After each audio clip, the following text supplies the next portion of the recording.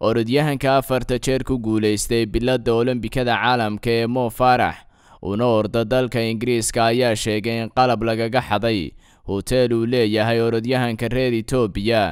ee xayle gabrasalaasi hoteelka ayaa ku yaalla magaalada adisababa ee caasimadda dalka etoobiya iyadoo arrintanina ay muran ka dhex dhalisay labada orodyahan.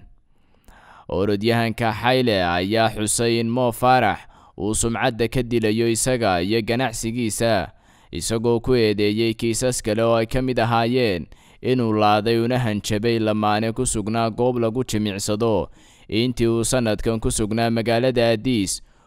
oo uu duleedkeeda tababaro ku qaato balse tababaraha mo farax ayaa ka difaacay eedeymaha isagoo sheegay inuu naftiisa ilaalinayay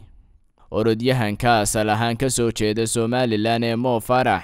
oo soddon iyo lix jira ayaa arbacadii sheegay in lacag saacad iyo laba moobil lagaga qaatay qolka uu ka deganaa hoteelka uu leeyahay orodyahanka xayle isagoo intaa ku daray in aanu orodyahanka hoteelka lihi waxba kala qaban in loo soo celiyo qalabka laga xaday.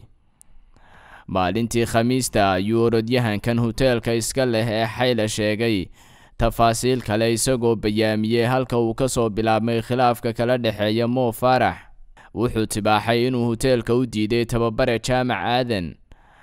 oo horena uga ordi jiray soomaaliya oo uu ka hor istaagay inuu dego. Taasina ay kicisay xiisadda iminka u dhaxaysa labada orodyahan afhayeen u hadlay mo farax ayaa mar kale beeniyey hadallada xayle isagoo xusay in aanu tababare aadan jaamac u ahayn tababare mo farax labada orodyahan oo marar badan tartamo ka wada qayb galay ayaa iminka u muuqda kuwo khilaafkooda uu sii xoogaysanayo khadar haybasaab t v hargeysa